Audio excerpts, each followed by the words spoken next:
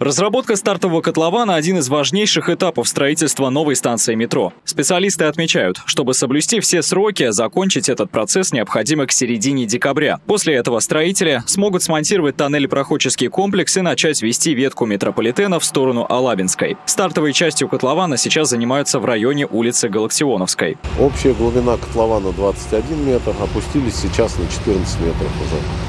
Сейчас приступаем к э, монтажу третьего пояса расстрельной системы.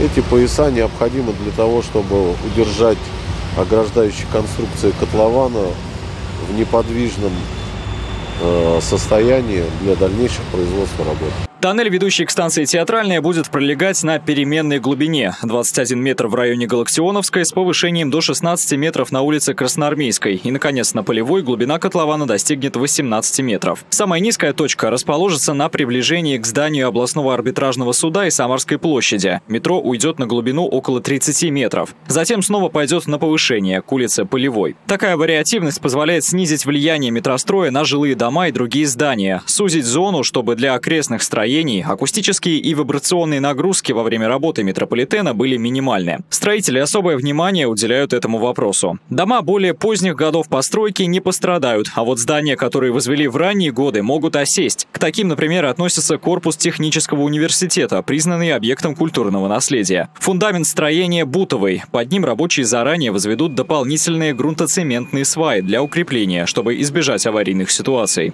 Забуривается под край корпуса скважины, через которые поддается под давлением раствор, который обеспечивает грунтоцементную сваю, образование сплошного массива, дополнительный фундамент под ним, 15 метров глубиной.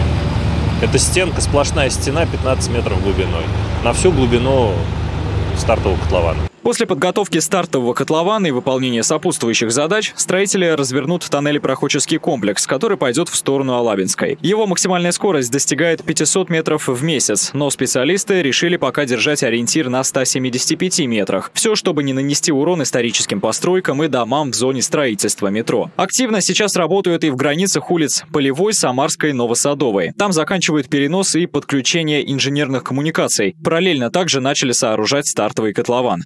Необходимые усилия мобилизованы для сохранения ритмичного строительства новой станции «Театральная». Детально производство основных и сопутствующих работ обсуждается и в мэрии на совещаниях, которые проводит первый заместитель главы Самары Владимир Василенко. Какими темпами специалисты бы не трудились, в любом случае для горожан стараются минимизировать неудобства. Первый вице-мэр делает акцент на том, что они временные, а строительство метрополитена – веха в развитии городской инфраструктуры. В будущем новая станция обеспечит транспортную доступность исторического центра центра. После ввода театральной время в пути по ветке составит 20-25 минут. Также появятся технические возможности сократить интервал движения поездов до 7-8 минут.